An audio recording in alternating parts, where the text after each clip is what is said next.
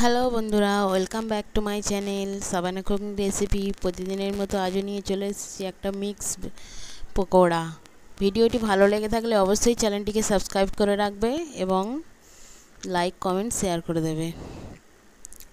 পকোড়ার জন্য প্রথমে এরকম কচি কচি, ছোটো ছোটো করে একদম চিকেন নিয়ে নিয়েছি কেটে। এরপর নুন দিয়ে দিচ্ছি। নুন দিয়ে একটু চিকেনটাকে মাখিয়ে রেখে দেবো। দু তিন মিনিট মতো। এরপর দিয়ে দিচ্ছি লঙ্কা গুঁড়ো। এরপর দিয়ে দেব হলুদ গুঁড়ো। সব কিছু দিয়ে চিকেনটাকে আমি একটু মিশিয়ে নেব। চিকেনটা আমার মিশিয়ে রাখা হয়ে গেছে। দেখতে পাচ্ছেন, চিকেনটাকে মিশিয়ে নিচ্ছি ভালো করে। এরপর কচিয়ে রাখা পেঁয়াজ আমি একটু বেশি করে দিয়ে দিচ্ছি। এরপর লঙ্কা কুচি দিয়ে দিয়েছি। সব কিছু দিয়ে, হাত দিয়ে খুব ভালোভাবে চটকে নেব। চামচের সাহায্যে তো ভালো করে মেশানো যাবে না, সেই জন্য হাত থেকে হাত দিয়ে ভালো করে মিশিয়ে নিচ্ছি। দেখতে পাচ্ছেন, এরকমভাবে ভালো করে চটকে নেবেন।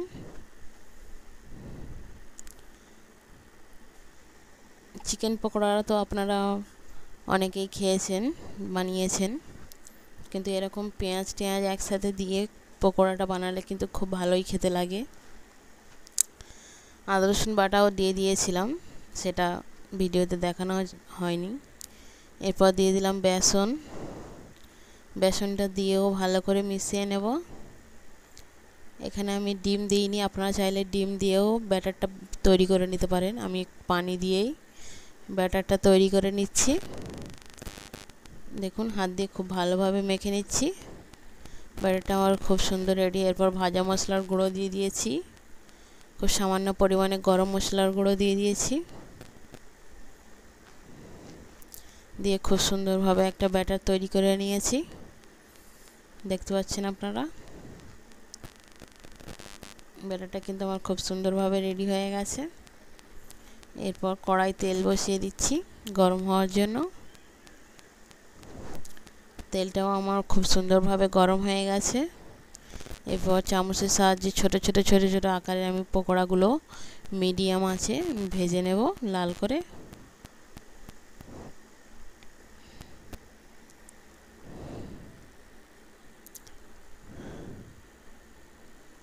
দেখুন, চামচের সাহায্যে পকোড়াগুলো আমি কিন্তু খুব ভালোভাবেই ছোট ছোট করে দিয়ে দিচ্ছি।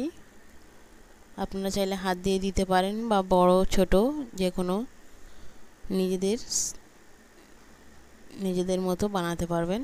আমি এখানে খুব ছোট ছোট পকোড়াগুলো বানাচ্ছি। খুব সুন্দর মুচমুচেও খেতে কিন্তু খুব সুন্দরই লাগে। দেখুন কত সুন্দর হয়েছে আমার পকোড়াগুলো।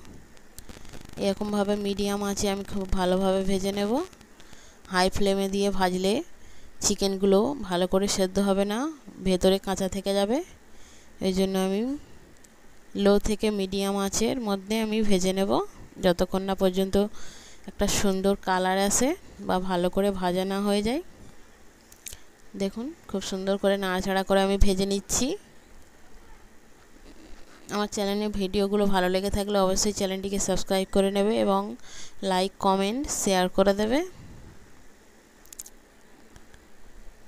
দেখুন, আমি খুব নাড়াচাড়া করে খুব ভালোভাবে পকোড়াগুলো আমি রেডি করে নিচ্ছি। পকোড়াগুলো আমার খুব সুন্দরভাবে ভাজাও হয়ে এসেছে। এরপর আমি আর একটু লাল করে তুলে নেব। দেখুন, খুব সুন্দরভাবে কিন্তু ভাজা হচ্ছে। পকোড়াগুলো দেখতে যতটা সুন্দর কিন্তু খেতেটাও কিন্তু ততটাই সুন্দর হয়েছে। ভিতরটা খুব সুন্দর মুচমুচে, বাইরেটা, এবং ভিতরটা কিন্তু খুব সফট হয়েছে। এরকমভাবে পকোড়া অবশ্যই বাড়িতে ট্রাই করে দেখবেন। দেখতে পাচ্ছেন কত সুন্দর ফুলে গেছে এবং খুব মুচমুচে হয়েছে পকোড়াটা। সন্ধ্যায় চায়ের সঙ্গে কিন্তু দারুণ লাগবে খেতে। দেখুন পকোড়াগুলো আমার রেডি হয়ে গেছে, আমি তুলে নিচ্ছি।